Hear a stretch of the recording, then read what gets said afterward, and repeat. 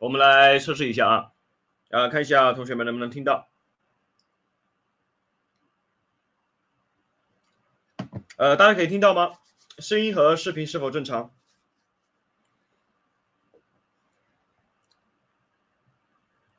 而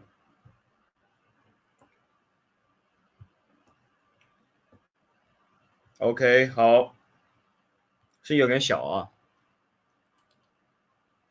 啊，声音有点小，这个我这边调不了。好，我们来看一下那个，呃，我们今天来看一下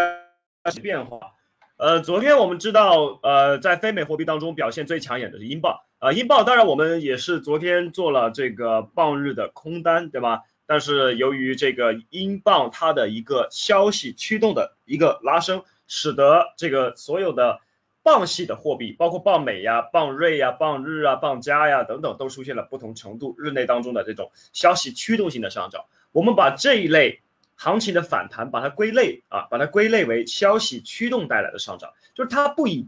它并不是基本面，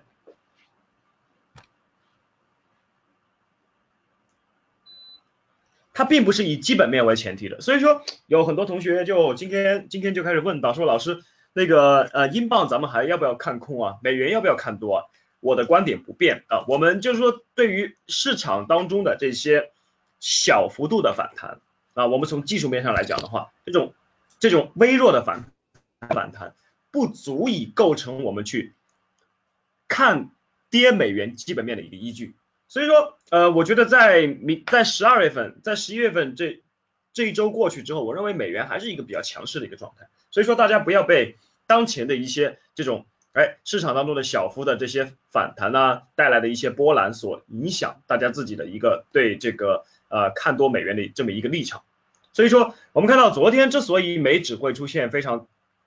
啊会出现相对比较急促的一个向下的回调，那主要是来自于英镑的拉升啊，英镑在这个在美元指数当中它占有相对重要的权重，对吧？那由于英镑的拉升，它也带动了欧元的上涨，是吧？所以说一系列消息它形成了一一个连带效应。使得欧系货币、镑系货币开始出现了不同程度的反弹，那这种小幅度的反弹，它自然会使得美元在高位形成一个回落。在现在这个立场上来去看待它的话，呃，来去看待整个市场的一个一个变化，只不过是短期的调整啊，它不过是上涨过程当中的正常的修正，不管是从技术面还是从基本面上来看的话，都不足以找到这种整体市场的一个反转的这么一个依据。所以说，依我个人的观点来看啊，大家在现在这个呃，大家现在在这个时间阶段，我们还不要忘了，英国和欧盟脱欧只是草案，现在正在布鲁塞尔在紧急的进行着一个下一次的具体的商议。那么整体来看的话，拟定的草案已经出台，那这种草案我们看到它其实对于它对于这个整体的一个形势有一个好的开始啊，有一个好的开端。至于结果会怎么样？仍旧是一个未知数，到底会拟定出什么样的正式的双边协定，可不可签字啊？怎么签？或者未来英国会不会欧盟孤立，或者是成为欧盟的这个呃它的一个一个单边的市场，这是非常非常重要接下来去考虑的话题。所以说我们现在对于这次的反弹呢，包括对于这个整体美元基本面的变化呀，我们不需要太过于啊太过于快速的去改变我们的立场。所以说，我们还是来跟踪啊，跟踪这一次欧盟跟呃英国的这个它具体的一个结果会是怎么样的啊？结果要是利多的话，那很有可能会带来一系列的反弹。但是这个反弹我们看到它还不足以去扭转整个基本面的局面，这是我的观点啊。所以说，就目前来看的话，呃，我们暂时不去做空英镑，暂时不去做空英镑，因为我们昨天讲的就是说英镑回到呃英镑回到这个一点。报美啊，报美回到这个一点，回到这个一点三零的时候，哎，我们告诉大家说这个地方是比较合理的做空的位置，是吧？在这个地方，这个地方，这个地方都不能空，哎，我们要等它回到一点，回到一点三零的时候，在这边考虑去空它。但是我刚才讲了，就是说现在市场整体的一个呃，不管怎么说啊，从这个开端来看的话，从这个啊英国跟欧盟这个谈判的开端来看的话，它是相对利多的，所以说英镑在短期之内肯定会大概率的会持续受到一些买盘的支撑，但是英镑的上涨它会持续受到来自于美元强化的阻力，所以说在这个层面上来看的话，我觉得今天大家暂时先观望一下，不去在这个地方去空英镑。啊，按照本来的一个预想来看的话，按照呃按照原先的一个预想来看的话，那么其实在这个地方是一个比较合理的入场位置。同时，我们用两条黄金分割来看，第一条就是自下而上六一八的一个双底的反转，对吧？第二个是自上自上而下的一个六一八顶部的一个回调位置，它往往都会成为交易的点，它都会成为交易的点。但是我们要实时的根据当前的一个市场的背景。和整个市场的氛围来去看，要不要在地方去执行交易？所以说，我认为英镑今天的空单我们先搁置一下，啊，先在地方去看一看，暂时不去空单，因为整体的一个短期来看的话，市场的氛围是相对利多英镑的。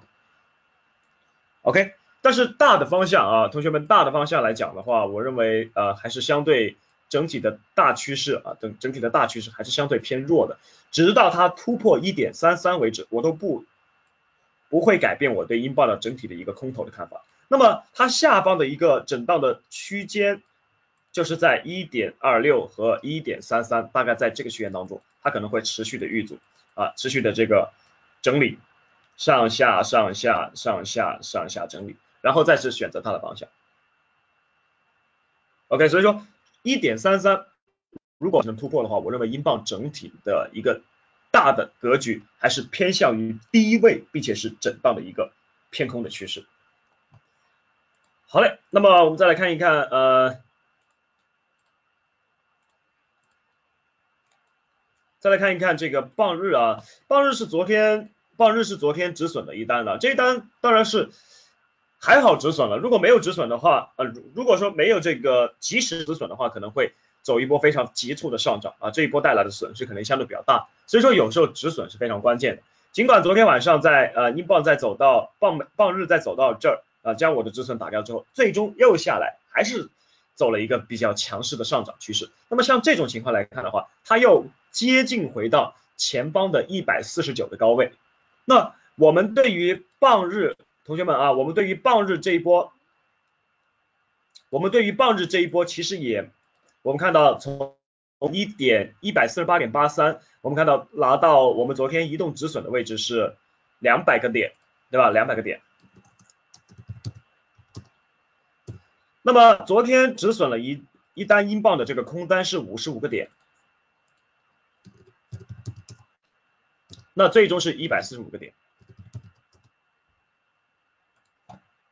啊，就说。放日的这一单，我们尽尽管做的不是那么完美啊，毕竟是有高位的空单，最后哎在这个地方补了一个空单进去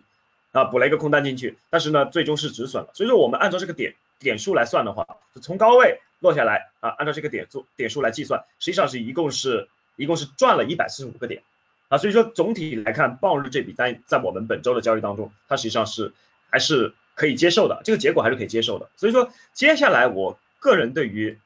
当当然如果是呃，如果是这个，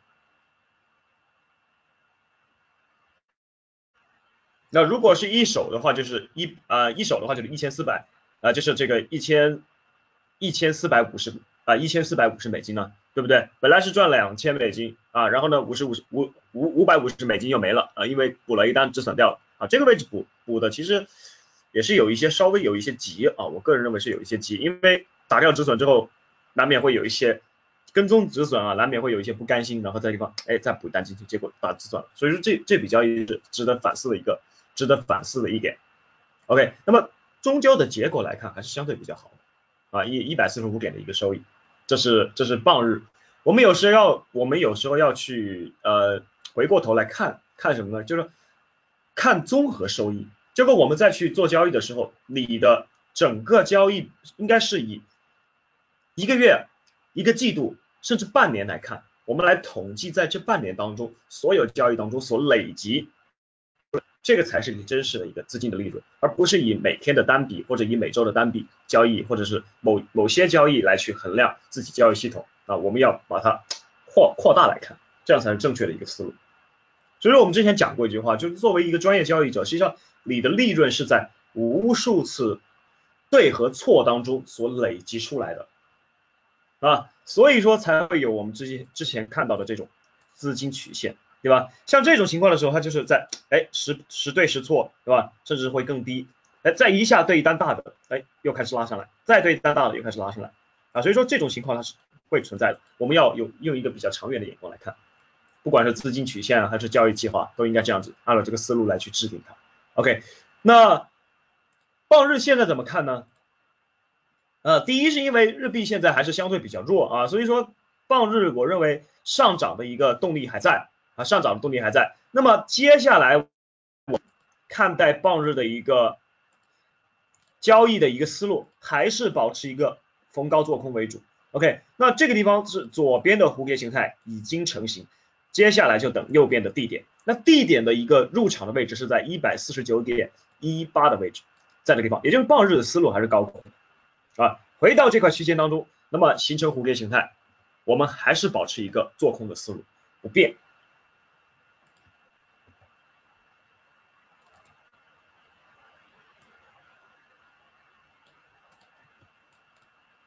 啊，保持一个这个保持一个这个做空的思路不变啊。在一百四十一百四十九点一八五这个地方，大家关注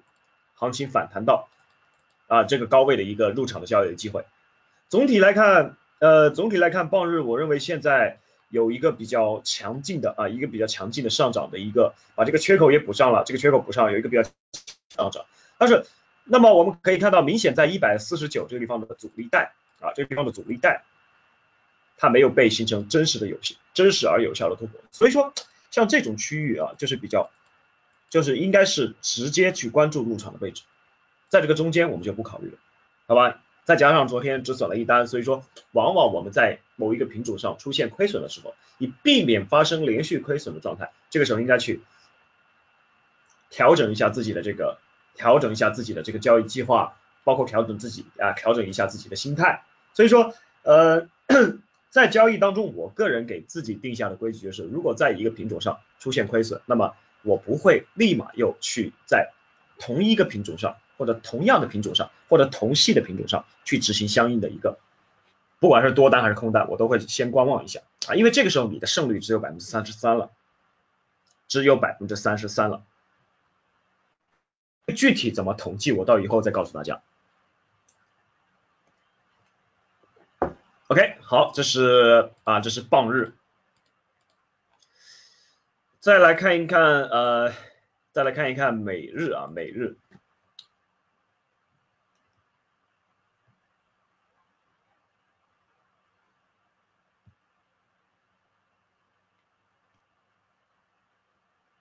呃，陈乐彤能看到画面吗？现在能看到了吗？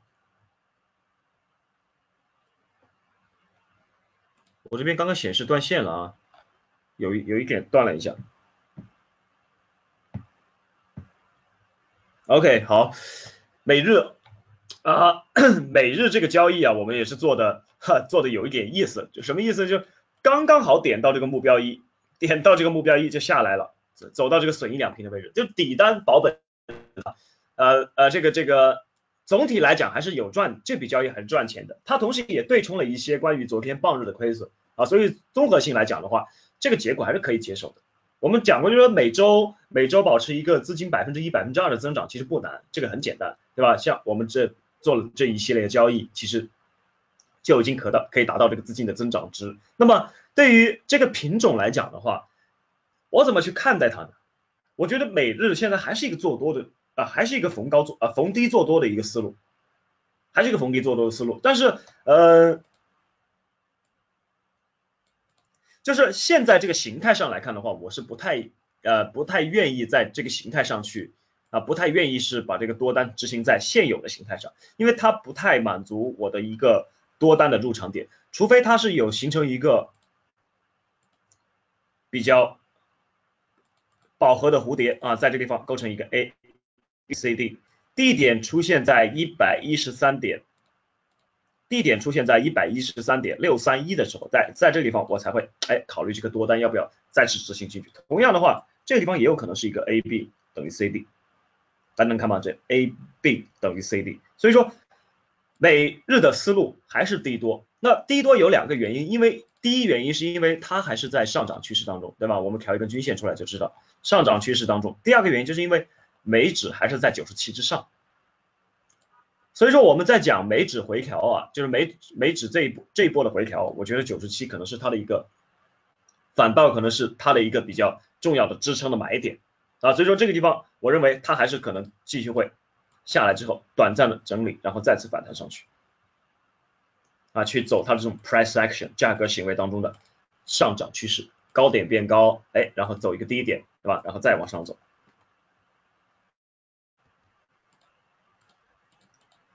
OK，所以说，呃，不论是单纯的交易美指也好呢，还是说去交易到非美货币当中的黄金，对吧？这个呃欧元等等，其实都是可以的，包括美日，其实都是可以的，思路还是不变，好吧？啊，唯一的今天不要去做的就是做。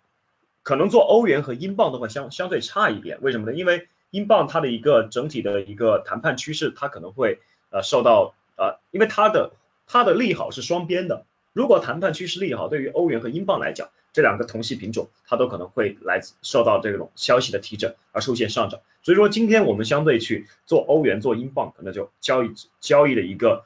啊时机可能就不太好。那么我们今天早盘在。啊，今天早盘在群里聊到，就是昨天啊，昨天其实我们在欧盘的时候有告诉大家说，呃，这个地方对吧，构成一个 X A B C D 的弧形形态，那么很多地方挂单做了，那最终是二十个点啊，二十个点离场。那我个人的观点就是说，欧元现在的一个一个回调的幅度有点大，那么在这个回调幅度有点大的情况下，如果昨天是已经有在这个地方挂单入场做空。欧元的这些同学，那今天就不要在地方又去加码做空了。如果没有做空的话，今天在一点一三啊，就是我们昨天在讲的，我们昨天在讲的这个蝴蝶的延展位，是吧？这个蝴蝶形态的延展位，它还是可以依旧依旧还是可以采取一个高空的交易思路，它同时也是前方的一个支组互换位置。所以说，在一点一三这个地方入场做空的话，它实际上是交易的一个交易的一个位置是相对极限的。那已经止损的就不要再入了，没有止损的呢，今天就在这地方还是可以去执行它的空单。但是同学们要注意的一点就是什么？就是欧元跟英镑啊，它今天的一个币的交易的一个时机可能不太好，因为现在呃对于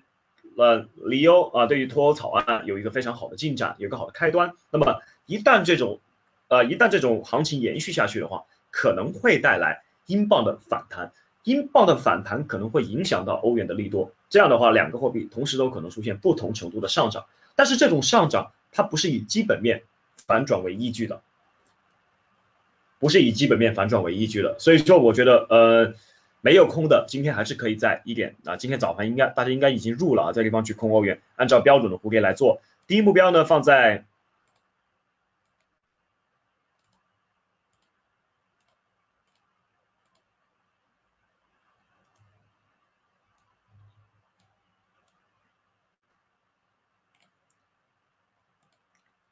呃，第一目标放在这个呃一点一点一二七五七的位置，二十八个点啊，三十八个点，做好减仓。第二目标放在第二目标放在一点一二五二七的位置啊，大概是六十一个点啊。止损的话，止损的话是一比一啊，按照标准的蝴蝶来做的话，止损是在这儿啊，止损在一点一三五零的位置，一点一三五零啊这样的一个啊交易计划。OK，那昨天已经入的话，今天就不要再重新在欧元上入了，因为它也有可这笔交易，它我刚才讲的就是说，它也有可能因为啊这个脱欧的一个行情的带动，再一次形成一个不同程度的反弹。OK，这是这是欧元啊，呃，再来看一看，再来看一看它的一个日线图，欧元的日线图上来讲的话，其实结构是比较明朗的一个结构啊。这个结构比较明朗，是因为它有这种阶段性的一个一有一个调整，首先是顶部，其次再是哎这个地方，对吧？大家很明显的可以看到这些调整的阶段，包括在顶部。OK，这是一 part one part two，然后现在哎再次下去，就可能进行它的第三个阶段的调整。所以说欧元接下来我认为呃它一个调整的波段波段的范围可能会限制在一点一四到下方的这个一点一零。可能会限制在这个区间当中，所以说，那么按照这个思路来看的话，就是刚才讲到的，如果在啊，如果在这个一点，如果在呃一点三零这个地方，它由于这个利多消息给突破上去的话，那下一个目标很有可能会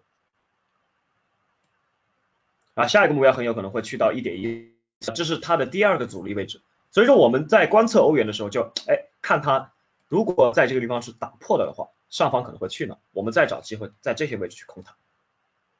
啊，再找机会在这些位置空它，因为上方还有这种压力线的压制，我把它用线形画一下啊，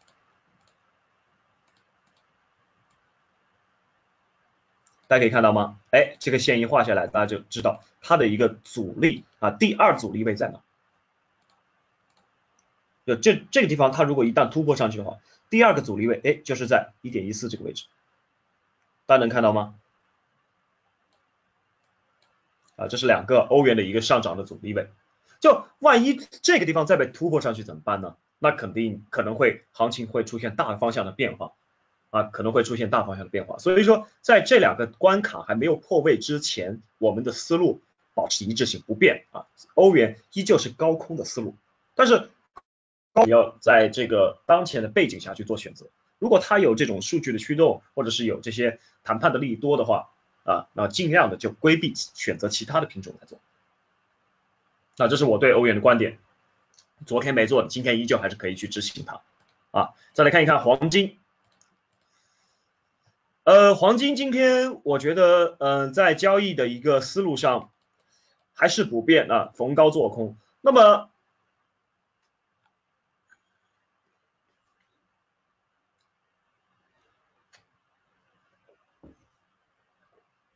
那么我们从黄金的结构形态来看的话，四小时啊，从黄金的结构形态来看的话，其实最佳的入场位置应该是在一千二百一，对吗？一千二百一，哎，这个地方做下来，目标就放在下方。但是我我觉得黄金现在的一个操作的一个操作的一个呃，或者是难点在于哪里啊？难点在于就是说现价这个位置其实很尴尬，为什么很尴尬呢？因为它离最下方的一个地点的入场位置，就是可能会形成大幅反转的地方，又只差一段距离了。我们看一下，对吧？还差一百三十一百三十多个点。那离上方的这个位置呢？我们最理想的一个高空的入场位置呢，还差一百个点左右。所以说它在这个中间位置其实是蛮尴尬的。你你去交易它的多单吧，昨天不是有同学在一千二百这个地方去抄底吗？对吧？抄底的多单吧，你肯定是。大概率的被打止损了，因为昨天最低价格是走到一千一百九十六，对吧？这个地方的多单肯定大概率的应该是损掉了，除非你是放的更低一点啊，可能没被损掉。那这个地方如果是做多吧，就不太好，它的位置不够极限。但是做空的话，它又处在一个中间的地方，所以说要怎么去抉择呢？怎么去抉择呢？那以我的观点来看，可以通过一些小周期的交易方法，比方说我们把它拉大来看的话，其实在黄金一小时当中，那么就现在当前的水平位置，它实际上是有一个比较清晰的结构的，大家能看到吗？OK，是吧？那这个地方实际上是一个比较清晰的一个结构。那这种结构，我们同时在一小时图当中，这个均线它也可以作为一个阻力的参考标准，它可以作为一个阻力的参考标准。那所以说，黄金哎，现在在。我的意思就是说，在一千二百五，那么一小时的结构，我们看到这是个区间啊。如果要去交易它的话，我告诉大家交易的技巧啊，就切换到十五分钟或者三十分钟当中来看啊。你看十五分钟、三十分钟当中啊，十五分钟、三十分钟当中，我们就可以比较明明显的可以发现，你看一个双顶结构。大家能看到吗？这个双顶结构啊，包括前方的一个阻力。好，所以说在短线上来讲呢，就是这种三十分钟、十五分钟的短线上来看的话，那么在打入到这块区间当中的时候，出现双顶，它其实就是做空的一个机会。当然这是短线啊，如果按照这个思路来去执行，那么我们通常止损的话，应该会给也会比较小，不会给不会给五六十个点啊，或者七八十点的止损啊，最多给二十个点的止损。那像这种交易就是属于日内当中的这种我们叫做 scalping 波头皮交易。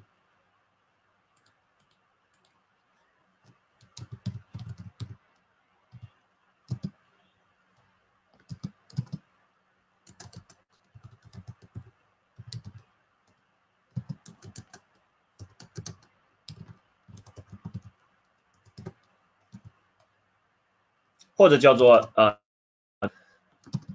中国这边的叫法习惯把它叫成抢帽子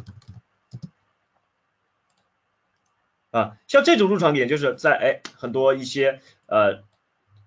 日内交易的一些交易交易者啊，或者是刷单的，那他们通常会在这些地方，我告诉大家会在哪些地方，通常会在这些地方啊，通过三十分钟甚至十五分钟甚至是五分钟当中去找入场点，那像这样的话。我们看到，其实离这个目标一啊，我们按照这个计划来模拟一下，demo 一下啊，它的一个目标一其实就是在一二零二的位置，放，砰，它可能就离场啊。像这种抢帽子剥头皮交易，一般的持仓时间和距离都不会太长。所以说这种哎结构位啊，不管是大周期、小周期的结构位，它的交易的原理实际上都是一样的。我今天想强调这个观点，交易的原理其实呢就，至于采用什么样的周期，是吧？动用多少资金，仓位是多少，取决于自己的交易系统和习惯。OK，这是这是黄金啊，我觉得从今天呃今从黄金今天日内交易的一个思路上来看的话，我还是会告诉大家选择高空会比较稳妥一点啊，会比较稳健一些，但是。呃，由于这个位置，我们看到那在一小时图当中的结构，那么我们就不去采纳它啊，我们还是老老实实等一下，等看能不能走到走到这个高位一一千二百零啊一千二百一，或者是走到低位啊一千一百九，我们再去做这种做相对比较啊这种位置比较好的一些布局。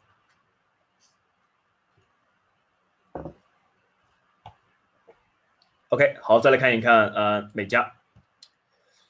说到美加，就不得不谈原油啊。原油在我们昨天在讲到过，我说原油啊这一波趋势啊，它不是简单的，不是单纯的下跌啊。这一波趋势我们看到是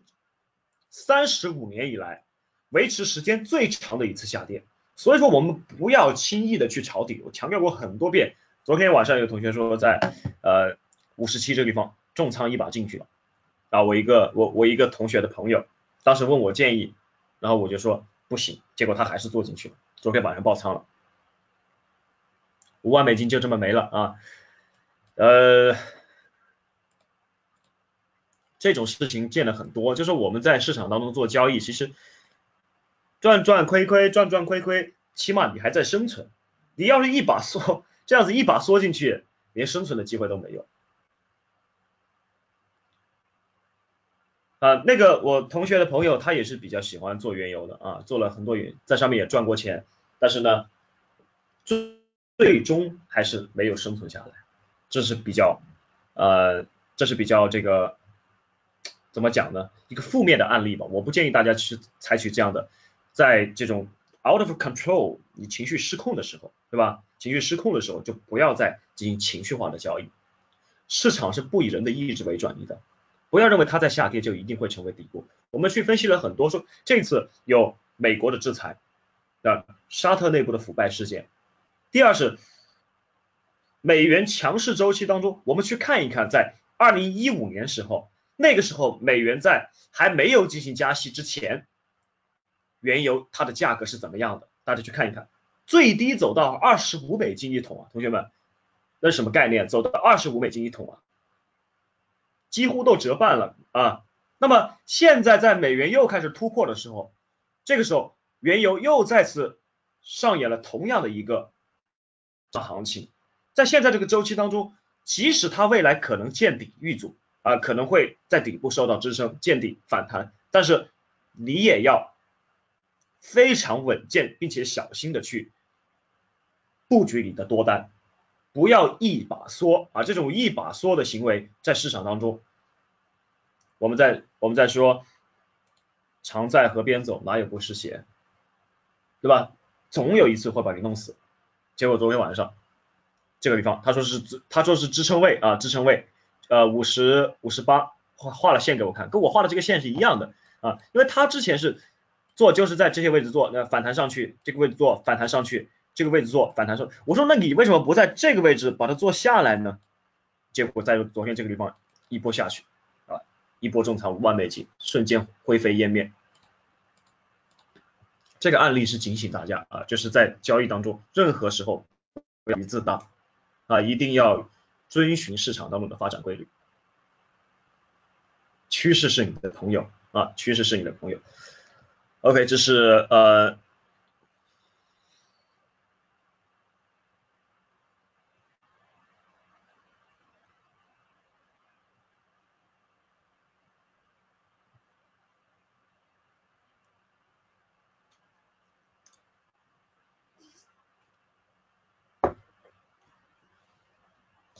啊，五万美金没了啊，还平台还欠他的钱，呃，他还欠平台的钱，因为直接穿掉了嘛，这地方直接直接就穿掉了。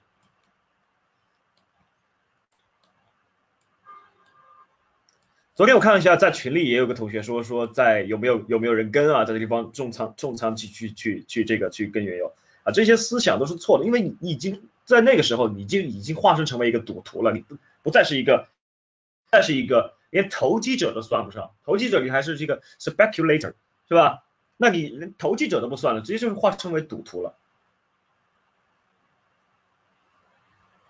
九死一生啊！这这种大家就不要以后坚决不要去尝试啊，坚决不要尝试。动了这个念头啊，赶紧过来跟我讨论一下，我们该怎么去化解这种情绪啊？咱们慢慢的去去去一步一步的去，哎，去把这种错误的观念把它给移植出去。啊，再也不要发生这种情况。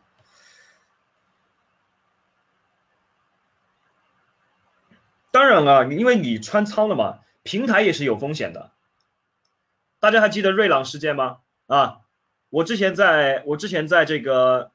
我之前在福汇工作过啊，FXCM 就是全球最大的外汇交易平台。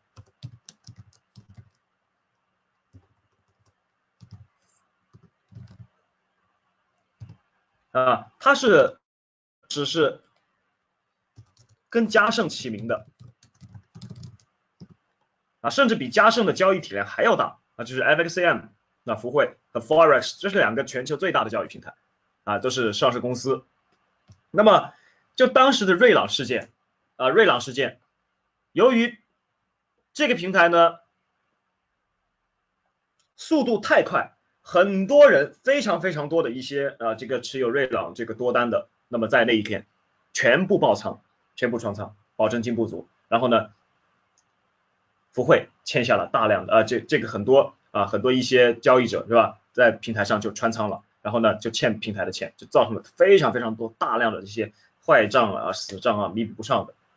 怎么办？没有办法啊，在美国的业务就被啊就退出美国市场啊，因为关于这个呃风险。当然，这是也是平台的风险控制问题啊，保保证金这个风险控制不足，是吧？结构系统没有调节到位，最终才导致这样的一个出现了如此大的一个资金的这个漏洞啊，最终没有办法填补，然后在美国的一个业务，本来是最大的两个外汇公司啊，在美国的业务被嘉盛给收购了，退从此退出美国市场。但是现在在中国，包括在澳大利亚，还有在呃耶路撒冷啊那些地方都还它还有办公地点啊，还有办公地点。所以说，它其其除了美国，其他的地方的业务还在正常的运行，但是在美国最大的市场的退出了。所以说我们在平台交易的时候，其实上如果是爆仓了的话，你会发现你的平台上面显示的是负，那个资金是负的啊，前面是个减号，那个实际上就是你应该去，应该去，就是你欠平台的钱。那这个钱呢，他该怎么办呢？他得他得自己来给你贴，他自己得给你贴。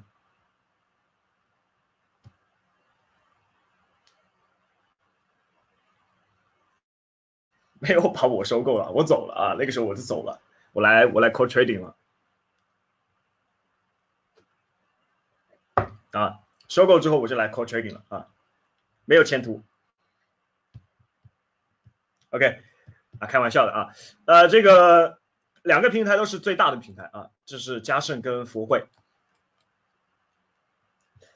呃，再来看一看原油怎么看呢？原油就是我们现在就高空的话，几乎是不太可能。你说要找哪个地方高空的，走的太走的太急促了啊，就是中间几乎是没有带，就是下跌的过程当中就非常急促。不是那种缓慢的下行，就是在趋势交易当中震荡下行，就是直溜溜的下来。那么，呃，现在是在快走到前方的一个支阻护航位，我们可以看到原油在五十呃五十四，对吧？这个地方有一个支阻护航位。那么用黄金的，它其实，哎，这个地方正好也是六一八，同学们注意啊，对吧？是六一八啊。好，那问题来了，我要不要做反弹？问题是我要不要做反弹？那我个人的建议就是说，还是等啊，还是等一下，等一个高空的交易机会。那这个地方它有可能会形成反弹。那反弹起来的话，如果给位置比较好的话，那我就去高空它。啊，原油的一个交易思路啊，原油所有的交易思路都应该至少在现在基本面强力的推动下，保持交易当中的一致性。那么我们之所以画这个画这个六一八，包括画这个前方的支阻护航位，是为了提示大家这个地方可能会形成反弹，形成反弹之后，我们就高空的入场机会就来了，啊，我们就才有高空入场机会的可能。所以说追你就不要追了啊。第二，不要在地方去追空原油，为什么？因为它是一个百分之六一八的位置，百分之六一八前方的支阻护航位极有可能会形成不同程度的反弹。好吧，原油的思路还是一个高空啊，顺着趋势来做是最安全的。顺着趋势来做，起码不会爆仓啊。就算你扛啊，你也会扛回来，因为趋势它总是会走到那个方向上去，对吧？但是你如果是逆势做的话，你扛就是很难扛回来啊，很难扛回来，尤其是像这种这种趋势。所以说基本面的分析很重要，基本面的分析是真的很重要，尤其是在你在做长线持仓的时候，这个时候如果你看不懂国际形势的变化的话，那么其实是会输得很惨。呃，原油下一个，刚才啊，刚才 Mary 姐在群里问到一个问题，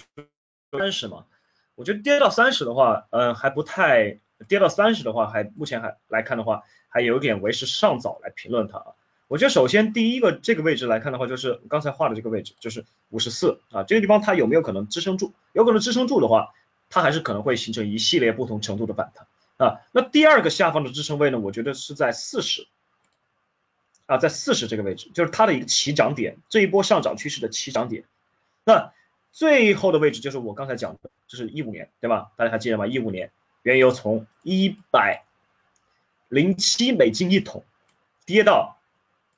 二十五美金一桶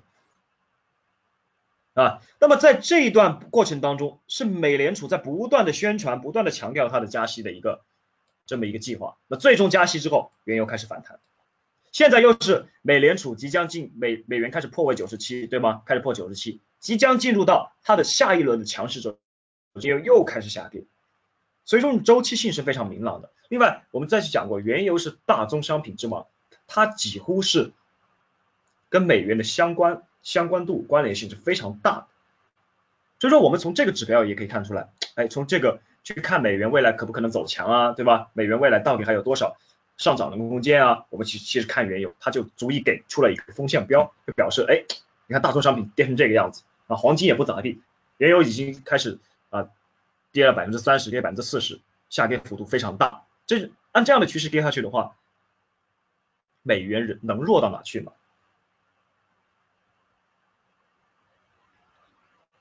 对不对？所以说我个人的观点就是说，呃，在在周线上来看的话，那第一的就现在来看的话，这个地方是它的一个支撑位置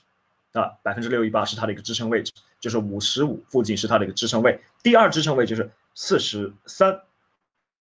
啊，第三支撑位就是前方底部。所以说这次下跌，我觉得可能还没有结束啊，总体的趋势还在运行。那么我们在这一波交易当中找一个位置去高空它。那六一八这个地方来看的话，是有可能会形成啊，有可能会形成这种呃趋势交易当中的反弹。那如果反弹到五十八，同学们注意啊，如果反弹到五十八的话，在这个地方我觉得是一个在交易当中可以尝试去做空的位置，五十八。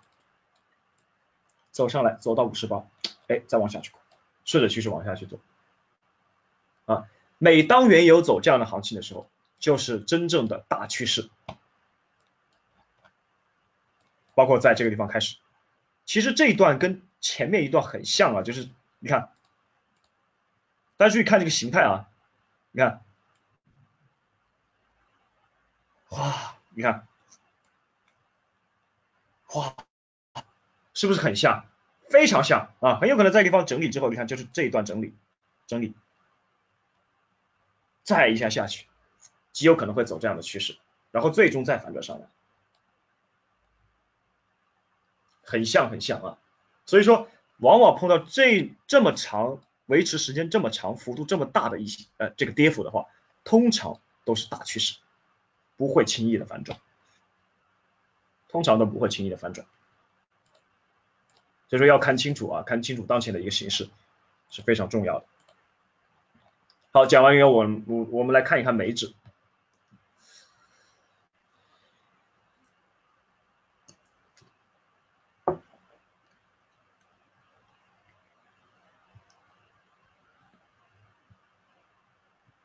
啊，有同学问到日元的多已经平完了，我们昨天昨天在高位减仓，现在还剩一半。日币的多，看看日币的多啊，哎，哦，在这，呃，我我自己日币的多是已经走了，就是底仓走来之后，然后呢，在这个地方是已经离场了。当然，今天其实呃，今天其实走到这儿的话，它还是有入场机会的啊，还是有入场机会的。那如果你没有离场的话，我觉得止损你就把它。放在原来的位置不变啊，还是目标还是看在看在前方。如果已经离场的话，就就就不要在这个位置再去多了。啊，这个群里的 ID 叫必杀兔的同学啊，就是如果是有日币的多的话，你把这个止损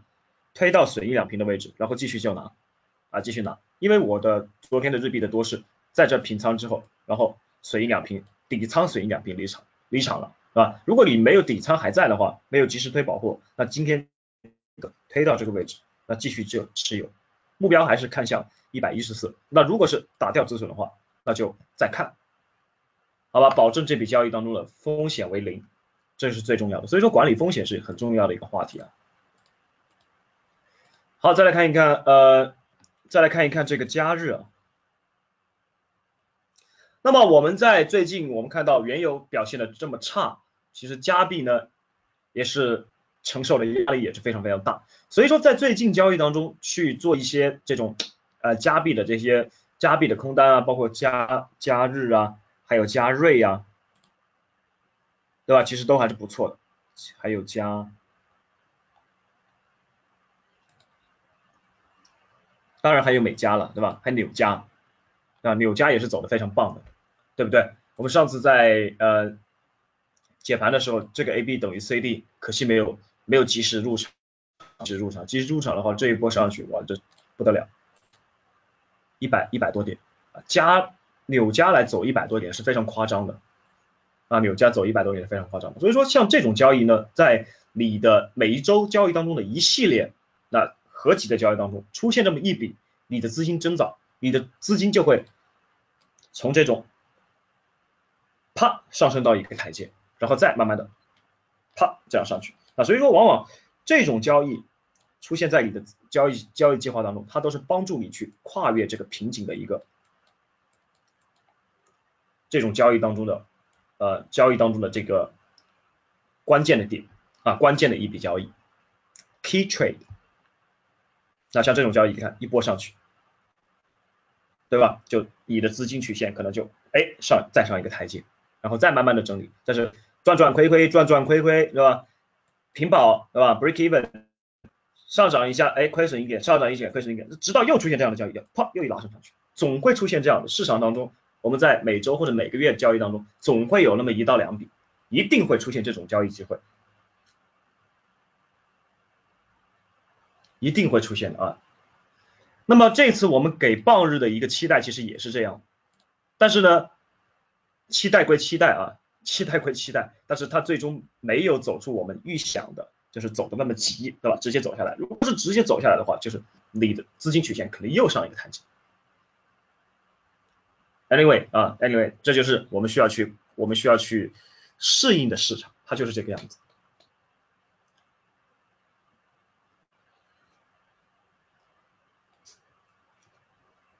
有时候一不经意的一笔交易啊，它会给你带来非常大的，给你有时候那么不经意的一笔交易会给会给你带来非常大的惊喜。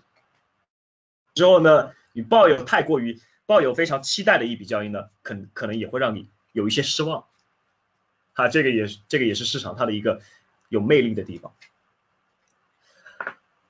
好，我们再来看一看呃，Aussie Dollar，Aussie Dollar。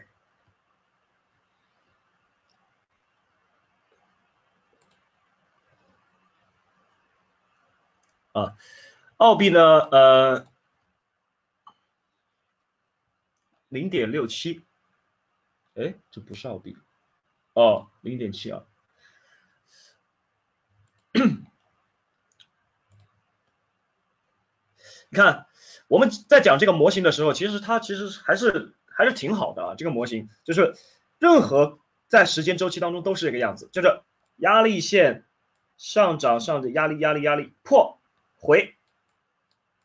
这地方就是啊，你看压力压力是吧？破回，这个地方就是买点啊。这个模型我们一直可以用它。OK，呃，澳币在非美货币当中啊马马虎虎，那咱不能说它强，也不能说它弱，因为强强不过英镑啊，英镑昨天是最强的。那弱呢，它又弱不过这个，它又弱不过这个这个这个呃，像美日啊、美加呀。对吧？还有欧元呢，啊，它又弱不过他们，所以说马马虎虎。那么在整体的一个技术形态上来讲，还是一个支持看多的，还是依旧支持看多的。所以说澳币我们就不再多讲了啊，就是底部多单呢是继续持有，因为这次反转上去的话，呃，如果零点七，如果零点七三突破的话，啊，零点七三突破的话，澳币将会迎来非常非常大幅度的上涨。那所以说我们在这些底部啊，包括有在有在这个呃有在这个百分之。啊，有在这个零点七一六零这这个地方入场澳币多单的一些同学啊，就拿着就行，啊，拿着就行了。好，再来看一看纽币，呃，纽币我刚才看了一下，纽币这个形态呢，呃，昨天还记得我们昨天再去讲这个策略吗？对吧？Structure trading strategy，那么纽币其实就是很明显的啊，非常非常清晰的结构。那么我们再去给它划分结构的时候，就是走到这些点位，走到这些点位，它就是做多的位置，啊，走到这种点位就是做空的位置，OK，包括这地方，你看就是做空的位置，啊，这个就是 structure trading strategy。那在这个策略当中，我们还要注意一点就是什么呢？就是中间我可不可以做？就是它突破上来这种，我在中间可不可以做？是可以的啊，这个也是可以的。就是既然是区间，对吧？既然是结构，那么在结构，我除了在高低点进行买卖的话，那么在中间，我能不能进行在中间区域啊，middle of area，能不能去做我的这个多单或者是空单呢？也是可以的。那么纽币我们看到现在其实它今天表现在亚盘当中表现其实也是非常抢眼的，对吧？那么离我们上方大概还有啊，就是预备。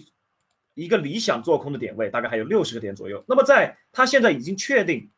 啊，已经确定触底形成双底反弹的一个形势下，那么纽币在日内交易当中怎么做呢？逢低买入，那么这个买入的一个点位在哪？就是在这个结构。啊，就是在结构当中，它还有小的结构，那你要是分清楚方向，它是从结构的低位反弹到高位，那你就是顺势买入，逢低做多，对吧？如果是从高位，像这种啊，像这种遇阻下行的，像这种对吧？包括前面的遇阻下行的，对吧？你就用这种结构，是吧？包括这个六一八六一八的回踩，包括像这种结构，对吧？你就是往下做，往下做。那像这个地方呢，就是往上做。这个是遇阻回调嘛，对不对？这个是支撑破位之后上涨嘛，是吧？大大家能看吗？这个从价格行为当中可以看到吗？它的方向是往上的嘛，对不对？所以说你的交易方向就是就是这样子的，就是逢低买入，逢低买入，或者再次形成结构逢低买入，这个思路上是这样子做的。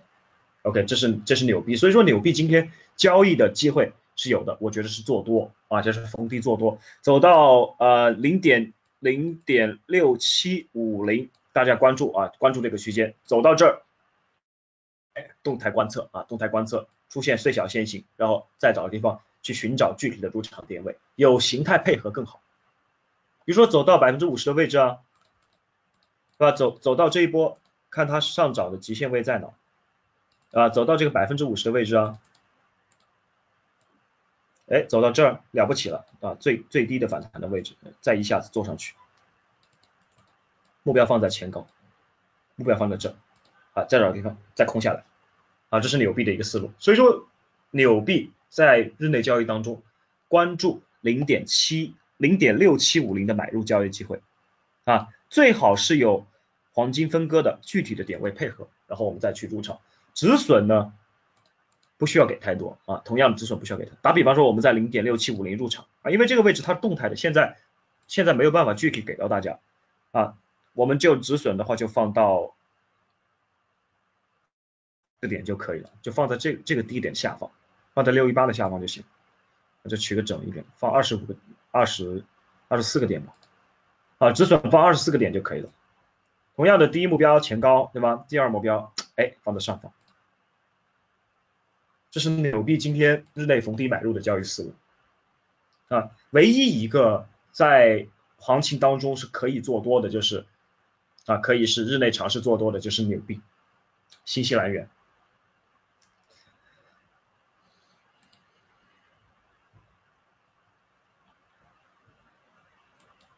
这个是快到目标了吧？应该快到目标了啊，还差一点点。那到了之后记得做减仓啊。这个欧元到了之后，记得做减仓，还差十个点啊。我，再看一看澳，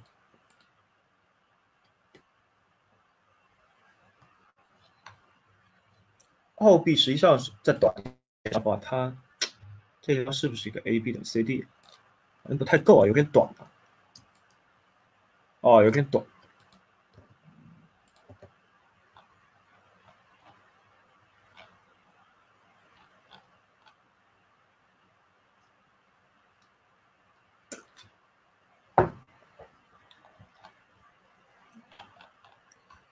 呃，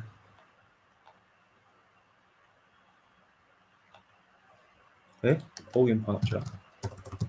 我今天看到呃，王王宪涛同学他画了一个，他画了一个这个欧元的一个形态，跟我画的好像有点不一样。你是在这儿画的吧？画的一个蝙蝠形态是吧？在这儿画的是吧？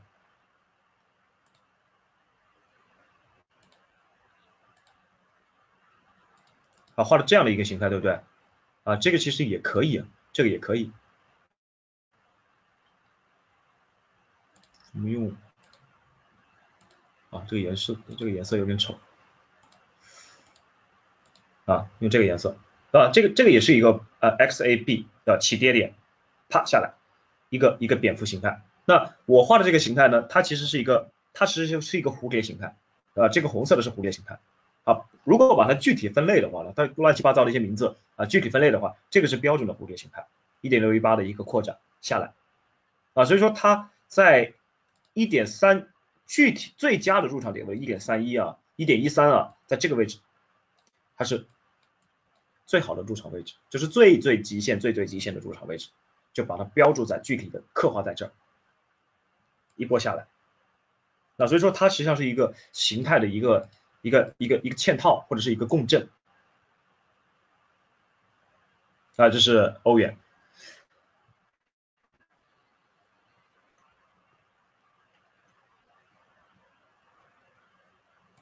好，给大家一些时间提问，看大家有没有相关的问题。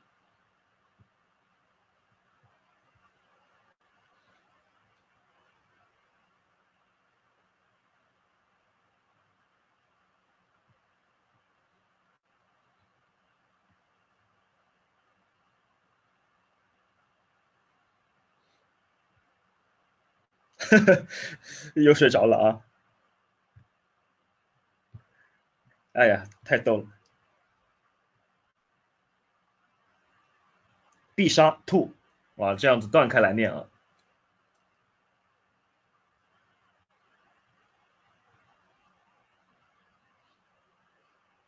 奥家的多单啊，奥家，哎，怎么这么多？什么情况？二加的多的，二加不能多哎，二加不能多，二加这个地方我画了线啊，这个地方是个阻力位呀，二加不能多，这个位置不能多，回调多是可以的。啊，但是浮盈的呃拿，当然要拿。啊，但是做做一些减仓就可以了。你是在哪儿多的？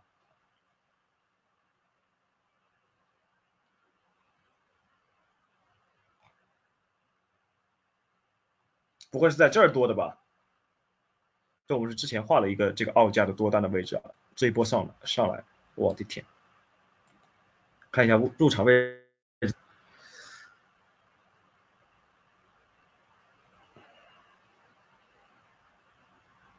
零点九三五零，零点九三，真是在这儿多的哇！九三五零，哦，在这儿多的，突破上去多的，澳加，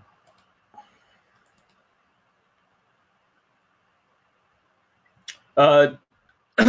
我不用不用全部不用全部走啊，没必要全部走，因为虽然是阻力，虽然是阻力，但是。它也有可能变成支撑啊，一旦变成支撑，就开启新的旅程，就上方的就全打开了。所以说我个人建议就是说，呃，可以再平一些啊，平一些，等它突破上去之后呢，等这块啊开辟开辟了新的天际之后，然后再把这个多单加回来，那上去再把这个多单把它补回来，就可以先先平先平呃。平个再平个三分之一，平个二分之一都可以啊，就现价应该是做过平仓的啊，就是走到这儿应该是在中途当中有做过减仓的，对吧？所以说现在应该还有底仓，底仓再减再减一半，然后等它看观测它这里的突破迹象，如果有迹象再突破上去的话，要是手里没单了，那肯定会很可惜啊，对不对？因为你这个位置很好，这个位置是从底部几乎是从底部拉上来的，就是说没有必要全部离场。昨天难难难受死了，不是看好澳币啊，我其实是相对看不看好加币啊。当然，澳币相对加币来讲，其实也是还不错了，对不对？那加币因为受到原油的拖累啊，原油都跌成这个样子了，原油再往下走的话，那加币凶多吉少，凶多吉少。昨天难受死。啊，有时候是吧？亏钱反倒不难受了，止损了就解脱了啊。有时候反倒就是损又没有损啊，在那个中间是最难受的。你说损吧，损一下，哎，我解脱了；没损，上下来刀疼，哎，心心里特别难受，是吧？然后呢，止盈的时候，大幅浮盈的时候，到底要该该不该离场呢？该怎么做呢？这个时候也是挺难受啊。所以说，人啊是很奇怪的，但这这也是交易的有意思的地方吧。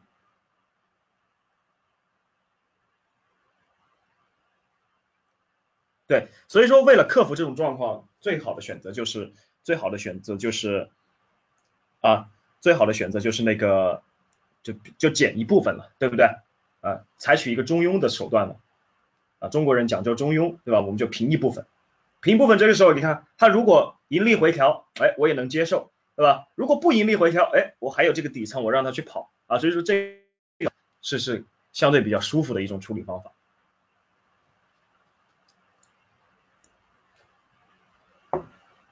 啊，当然它也是一种策略，叫做一比一半仓策略。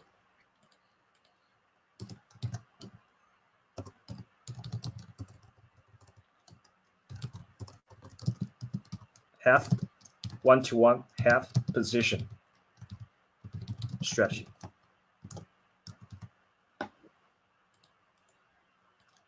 嗯，应该是 half of。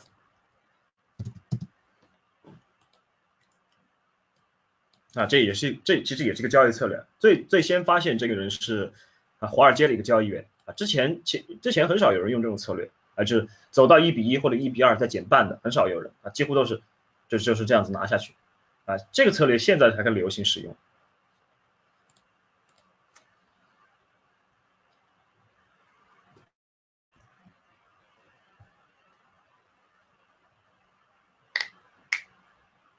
要损不损是，真的很烦，损了反倒解脱了，舒服了，该干嘛干嘛去，不损的话在那里颠着啊，其实就很难受，怪难受的。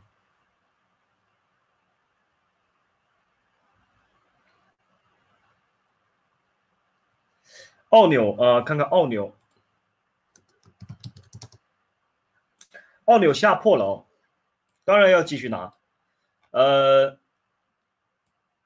奥纽有单的就继续拿，因为这波趋势很漂亮啊。奥纽我们是在在哪儿做的？在一点零七、一点零七啊，一点零七五零做的是吧？当然要继续拿啊，有单的就继续拿，没单的就就走了就算了啊，再找机会再进。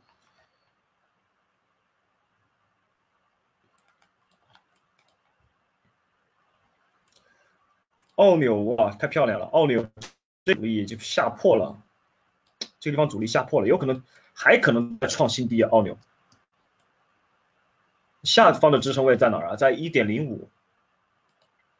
这又是一块广阔的新的天地啊！就这一块空间，像哥伦哥伦布发现新大陆一样，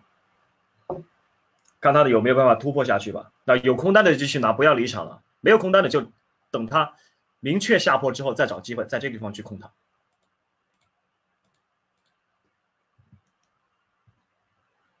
继续拿，继续拿。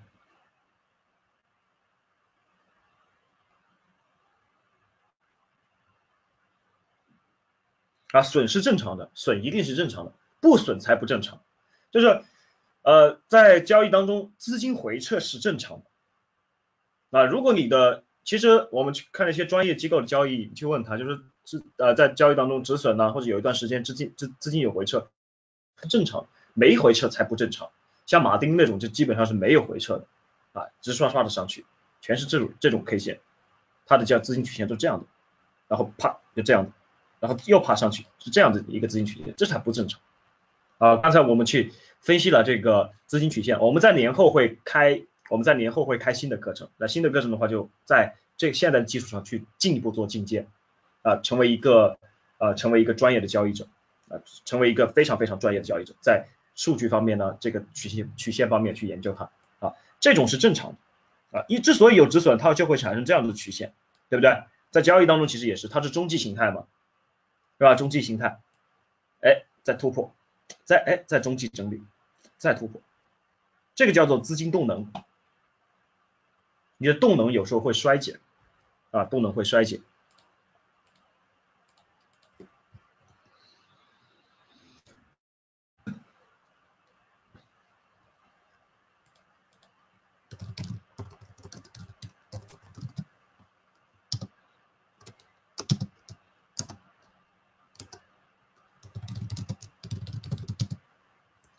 啊，趋势行情有动能，你的资金曲线也是有动能，资金动能。OK，好嘞，呃，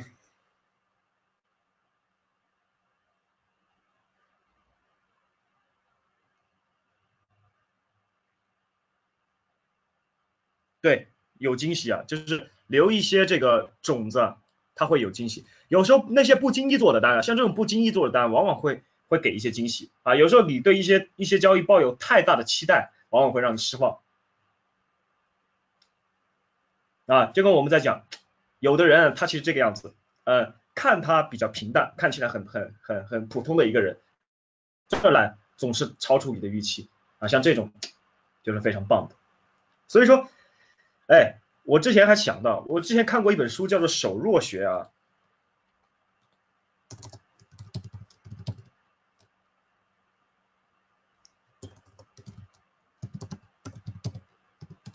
我发现生活当中经常会碰到这样的人，就是他们给你一种他很不起眼、很平庸的感觉，但是实际上呢，一肚子货啊，做起事来一点都不马虎。这种的话就会给给你造成非常大的心理的偏差，你就会觉得，哎，本来对他的印象很很很很一般，对吧？甚至是比较差，但是呢，最终一下子来一个一百八十度的反转，啊，这种人是非常具有智慧的，在职场当中他其实也是非常厉害的，往往这种人。看起来平相貌平平啊，最后一做起事来不得了，这种往往都能成一些成啊，往往都能成事啊。那些尤其是在中国的这个这个大啊，在一些这种国企啊，或者在官僚机构里面啊，你要是一开始就表现的很那个比较比较抢眼啊，比较闪光的话，最终都会被拍死啊，最终都会被拍死。所以说守弱学它还是是一门智慧啊。这本这个作者叫王守之。后来我就发现，我们在这几届领导中国领导人当中呢，我觉得胡锦涛啊，他在这个方面是做的最好的啊，手弱选。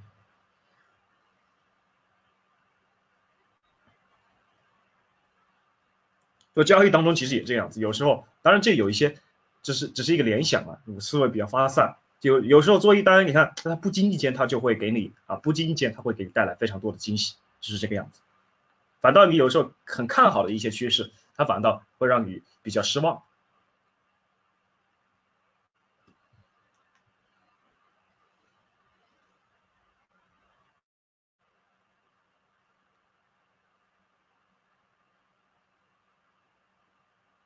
呃，不是，也不是不经意的，就是不知道它会走这么好啊，不知道它会走这么远。你看现在已经到了多少？一比盈亏比到一比三了，对吧？不知道它会走这么远，我万万没想到。啊，打算做一个，因为这个蝴蝶做下来，按照这个蝴蝶来做的话，其实在这儿就应该离场了，对不对？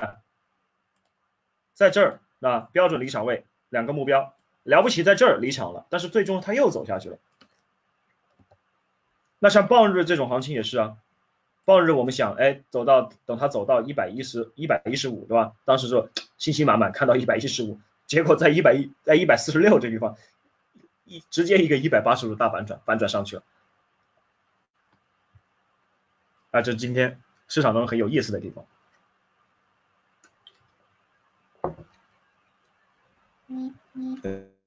小王子要是开单止损了，就马上反向做，又救回来了。啊，这个这个其实也可以尝试一下，但是我自己通常不会反向做，因为我如果一旦正反反向走的话，我有时候会会会比较会会 over trade 啊，会过度交易啊，这个看大家自己自己怎么去拿捏了啊。但是我作为一个交易啊，作为一个交易者的话，每天的计划我该去执行，止损了我就止损了啊，另外再去重新制定计划，这是我自己的交易规则。OK，好吧，那呃。